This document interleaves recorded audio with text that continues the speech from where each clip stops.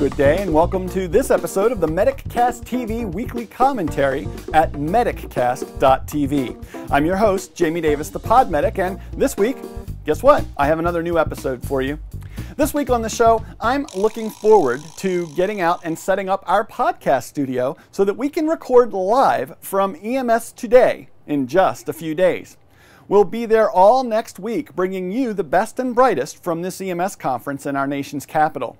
There will be thousands of our nation's EMTs and paramedics converging on Washington, D.C. next week to participate in things like education, policy discussions, and some important career networking as well. And the MedicCast Productions team will be there along with the rest of the ProMed Network's EMS programming favorites.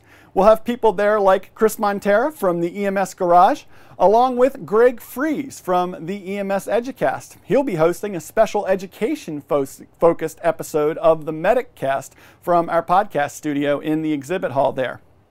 Make sure you come in and see us. Stop by the booth if you're going to be there. We always look forward to meeting you. And it's the audience that we keep bringing our shows out for each week. So I want you to make sure you stop by, say hi to me and the rest of the podcasting team there, and say hello. We love to meet you and find out what you want to hear more about.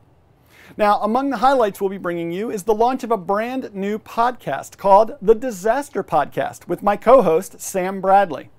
The Disaster Podcast is brought to you by the generous support of Joe Holly and Jim Logan from the Paragon Medical Education Group. They are going to be there at EMS today running their innovative real life cadaver lab at EMS today. So if you haven't signed up to participate in this innovative educational experience, I think you need to take some time and make sure you do so.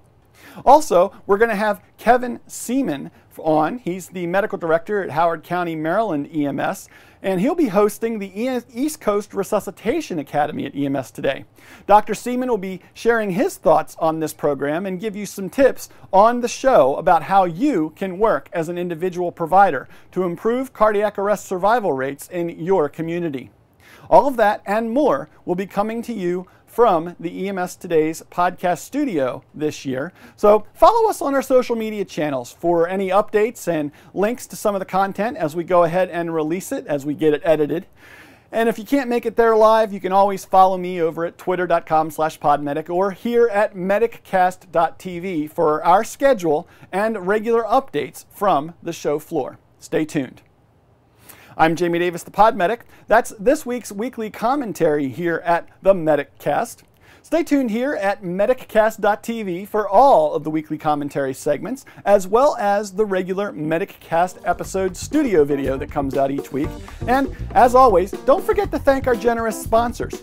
And please remember, people, scene safety, BSI.